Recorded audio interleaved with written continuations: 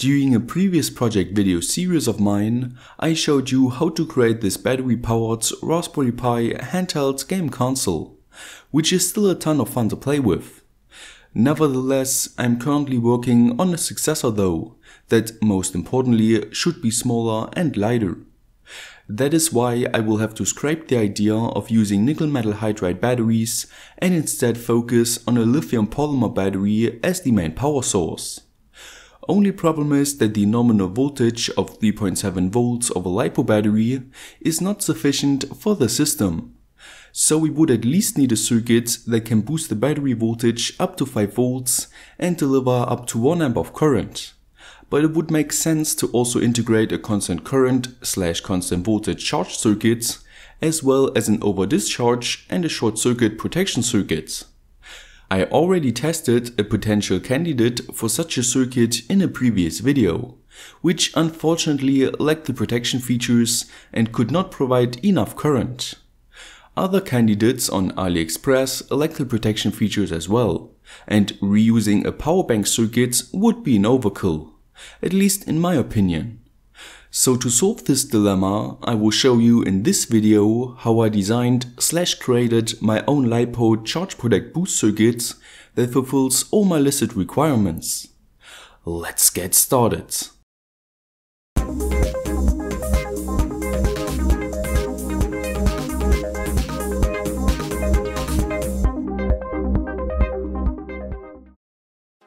As you might know, I've been using the free online circuit design software called EasyEDA for quite a while now. And since it can also transform schematics into board layouts, I will be using it for this project. And to make things even simpler for us, we can use their partnered component store called LCSC, which not only offers very low prices, but also has its component database integrated into EasyEDA which means that not only the schematic symbols are available, but also the layout of the components for the board design, which will save us a lot of time. And to conclude this trinity of convenience, we can later directly export the board design to the EasyEDA PCB manufacturing service, which is actually handled by the company JLC PCB. Not only are they the sponsor of this video, but also offer ridiculously low prices and an overall very pleasing PCB quality. But more about that later. For now, let's search for suitable charge IC. As you can see, uh, this selection is quite big. But there's one IC, uh, the TP4056, which I utilized before without any problems. So let's go with this one. According to its datasheets, it is a constant current, constant voltage, single cell lithium ion charge IC, which thus obviously also works with a LiPo cell. And at the end of the datasheet, we can see a typical application schematic, which we pretty much only have to rebuild within the EasyEDA software by utilizing the passive components of the database. The only thing we have to add by ourselves so far is a micro USB port for the power inputs and a 2 kilo ohm resistor to set the charge current to 580 mA. Next we need a protection IC. The first entry, the DW01, pretty much offered all the protection features I cared about, so I chose it without wasting any time. Again, a typical application circuit was present whose rebuilding in the software was no problem at all, but the two mandatory MOSFETs were still missing. A simple search for a dual N-channel MOSFET IC quickly delivered me the FS8205 IC though, which can withstand 20 volts, 6 amps and has a low gate threshold voltage of only 0.45 volts. Perfect. So I integrated this IC into the schematic and added solder pads for the LiPo battery which means we were pretty much done with the charge and protect part of the circuit. Next I added a small toggle switch to later turn on and off the 5V boost function and started searching for a suitable boost converter IC. What I found was the SDB628, which according to its datasheet has a low input voltage, a high efficiency and delivers up to 2 amps.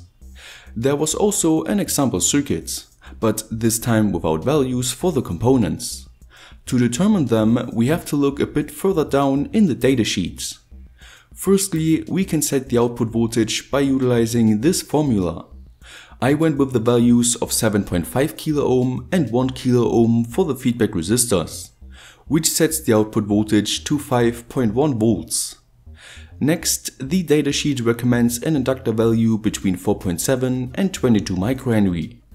I went with the biggest value and continued by adding input and output capacitors with a value of 22 microfarads and a suitable Schottky diode, all of course according to the datasheet. And after adding solder pads for the 5V and ground outputs, it was time to push the convert project to PCB button and start designing the board layouts. What I came up with at the end looked something like this, which was certainly not the best solution, but more about that in a second. For now, I click the fabrication output button, change the PCB quantity to 10 boards and order them all for only $2. But you can also directly order PCBs from JLC PCB by uploading your Gerber files there. And you would still get this insanely low price even with a build time of only 48 hours. Anyway, one week after I ordered my PCBs, I received them and once I was done inspecting them all, I did not notice any kind of problem with them. So I gathered all the required SMD components and started soldering them to the PCB. And if you have no clue how I did that, then make sure to have a look at my how to solder properly video. Once I was done with the soldering, I hooked up a LiPo battery and connected 5V power to the micro USB input.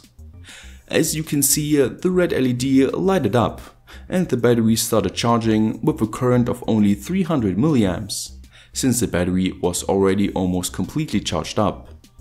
After a couple of minutes of charging though, the LED turned green at a cutoff voltage of around 4.209 volts, which seemed reasonable.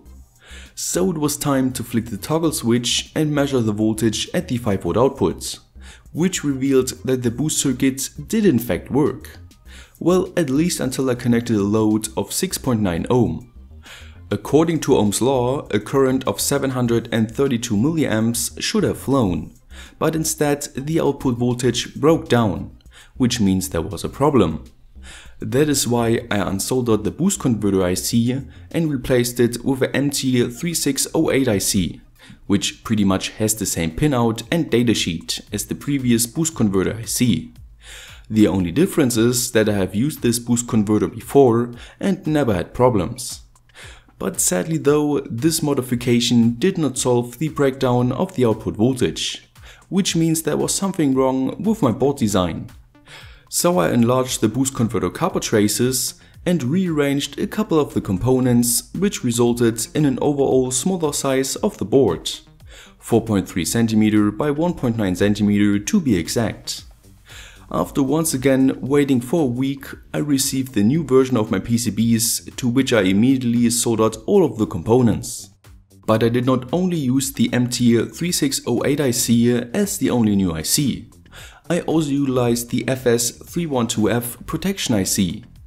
Once again, the datasheets of the old and new protection ICs are pretty similar. But the difference, which led me to this IC, is the higher over discharge protection voltage of 2.9 volts instead of the old 2.4 volts, which is pretty low for a LiPo battery. Anyway, after finishing the soldering of the components, I added a LiPo battery to the circuit and tested out the charging feature, which like before worked without a problem. More importantly though was whether the voltage would break down again which it did not. So I unsoldered the LiPo battery and connected my lab bench power supply instead to simulate different battery voltages and thus test the board properly. First off, I connected its output to my DIY power logger and connected a variety of different loads while utilizing three different input voltages in order to calculate the overall efficiency of the boost converter. As you can see in this diagram, the average efficiency is around 80%, but a lower input voltage and a higher output current demand can decrease this value a bit. But what is more important is that the output current limit of the boost converter is around 1 amp, since the output voltage does break down a bit while lowering the input voltage to a value of 3.4 volts. Not perfect, but it still fulfills my listed requirement for the circuits. Next, I lowered the input voltage steadily until I reached a value of 2.9 volts, which deactivated the boost converter. Even increasing the voltage to a normal value did not reactivate it. Only a charge impulse from the TP4056 allowed a reactivating of the 5V outputs, which means that the over discharge protection worked flawlessly.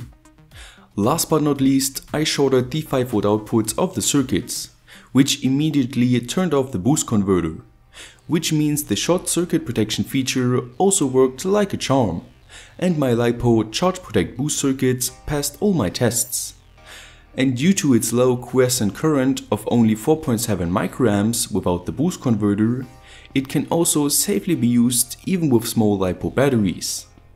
And if you're in need for such a circuit, then you can check out the video description where you can find the Gerber files and the EasyEDA project, which you can utilize to, for example, order through JLC PCB, who made this project possible to begin with. Anyway, I hope you enjoyed watching this video. If so, don't forget to like, share and subscribe. Stay creative and I will see you next time.